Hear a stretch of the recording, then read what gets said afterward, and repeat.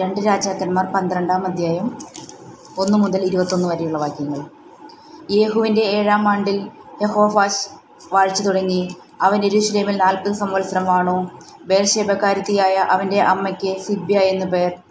യഹോദയ പുരോ പുരോഹിതൻ യഹോവാശിനെ ഉപദേശിച്ചു പോന്ന കാലമൊക്കെയും അവൻ യഹോവയ്ക്ക് അനിഷ്ടമുള്ളത് ചെയ്തു. എങ്കിലും പൂജാഗിരികൾക്ക് നീക്കം വന്നില്ല. ജനം പൂജാഗിരികളിൽ യാഗം കഴിച്ചും ധൂപം കാട്ടിയും പോന്നു. യഹോവാശ് പുരോഹിതന്മാരോട് യഹോവയുടെ ആലയത്തിൽ നിവേദ്യമായി പിരിഞ്ഞു കിട്ടുന്ന ദ്രവ്യമൊക്കെയും ഓരോ ആളെ മതിച്ച വിലയുടെ വിലയും യഹോവയുടെ ആലയത്തിൽ ഓരോരുത്തൻ കൊണ്ടുവന്ന സ്വമേധദാനമായ ദ്രവ്യമൊക്കെയും ഓരോ പുരോഹിതനും താൻ താന്റെ പരിചയക്കാരോടും വാങ്ങി ആലയത്തിന് അറ്റകുറ്റം കാണുന്നിടത്തൊക്കെയും അറ്റകുറ്റം തീർക്കണം എന്ന് കൽപ്പിച്ചു. എന്നാൽ യഹോവാസ് രാജാവിന്റെ ഇരുപത്തിമൂന്നാം ആണ്ടിൽ പുരോഹിതന്മാർ ആലയത്തിന്റെ അറ്റകുറ്റം തീർത്തിട്ടില്ലായിരുന്നു. ആകിയാൽ യഹോവാസ് രാജാവ് അഹി യഹൂദായ പുരോഹിതനും ശേഷം പുരോഹിതന്മാരെയും വരുത്തി അവരോട് നിങ്ങൾ ആലയത്തിന്റെ അറ്റകുറ്റം തീർക്കാതിരുന്നത് എന്ത്? ഇനി നിങ്ങൾ നിങ്ങളുടെ പരിചയക്കാരോട് ദ്രവ്യം വാങ്ങാതെ ആലയത്തിന്റെ അറ്റകുറ്റം തീർക്കേണ്ടതിന് അത് കൊടുപ്പിൻ എന്ന് പറഞ്ഞു. അങ്ങനെ പുരോഹിതന്മാർ തങ്ങൾ മേലാൽ ദ്രവ്യത്തോ ജനത്തോട് ദ്രവ്യം വാങ്ങാതിരിപ്പാനും ആലയത്തിന്റെ അറ്റകുറ്റം തീർക്കാതിരിപ്പാനും സമ്മതിച്ചു. അപ്പോൾ യഹോ യഹോദയ പുരോഹിതൻ ഒരു പെട്ടകം എടുത്ത് അതിന്റെ മുടിയിൽ ഒരു ദ്വാരമുണ്ടാക്കി യാഗപീഠത്തിനരികെ യഹോവയുടെ ആലയത്തിലേക്കുള്ള പ്രവേശനത്തിന്റെ വലത്തുഭാഗത്ത് വെച്ചു.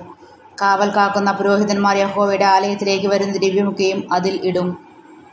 പെട്ടകത്തിന് ദിവ്യം വളരെയായി എന്ന് കാണുമ്പോൾ രാജാവിന്റെ രായസക്കാരനും മഹാപുരോഹിതനും കൂടെ ചെന്ന് യഹോവയുടെ ആലയത്തിൽ കണ്ട ദ്രവ്യം എണ്ണി സഞ്ചികളിൽ കെട്ടും.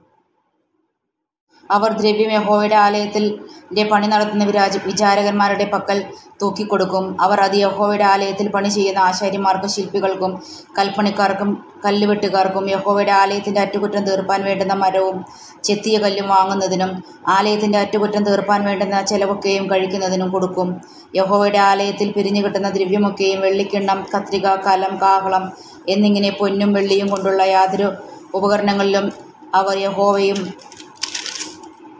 ആലയവകയ്ക്കുണ്ടാക്കാതെ പണി ചെയ്യുന്നവർക്ക് മാത്രം അത് കൊടുക്കും. അങ്ങനെ യഹോവയുടെ ആലയത്തിന് അറ്റകുറ്റം തീർക്കും. എന്നാൽ പണിച്ചെലവ് ചെയ്യുന്നവർക്ക് കൊടുക്കേണ്ടതിന് ദ്രവ്യം ഏറ്റുവാങ്ങിയവരോട് അവർ കണക്ക് ചോദിച്ചില്ല.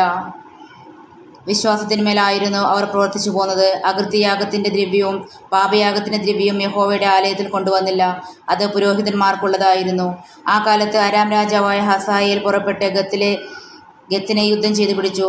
ഹസായേൽ എരുശലേമിന്റെ നേരെയും വരേണ്ടതിന് അറിയും യഹൂദരാജ രാജാവായ യഹോവാശ് തന്റെ പിതാക്കന്മാരായ യഹോഷഫാത്ത് യഹോരാം അഹസ്യാവ് എന്നീ യഹൂദ രാജാക്രമ നിവേദിച്ചിരുന്ന സകല നിവേദിത വസ്തുക്കളും താൻ നിവേദിക്കുന്ന വസ്തുക്കളും യഹോവയുടെ ആലയത്തിലെ ഭണ്ഡാരത്തിലും രാജധാനിയിലുമുള്ള പൊന്നൊക്കെയും എടുത്ത് അരാം രാജാവായ ഹസായേലിന് കൊടുത്തു. അങ്ങനെ അവർ യെരൂശലേമിലേക്ക് വിട്ടുപോയി. യഹോഷാവിന്റെ മറ്റുള്ള വൃത്താന്തങ്ങളും അവൻ ചെയ്തതൊക്കെയും ഭൂതരാജാക്കന്മാരുടെ വൃത്താന്ത പുസ്തകത്തിൽ എഴുതിയിരിക്കുന്നുവല്ലോ. യഹോഷിന്റെ ഭൃത്യന്മാർ മത്സരിച്ച് കൂട്ടുകെട്ടുണ്ടാക്കി സില്ലായിലേക്ക് പോകുന്ന വഴിക്ക് വെച്ച് മില്ലോ ഗ്രഹത്തിൽ വെച്ച് അവർ കൊന്നു അവനെ കൊന്നു.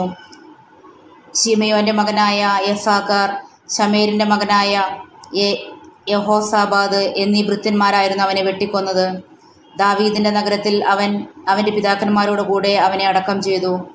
അവന്റെ മകനായ അമസ്യാവ് അവന് പകരം രാജാവായി തീർന്നു. ദൈവമേ തനിക്ക് യോഗ്യമാവുന്നു. ബാറയ്ക്കുമോ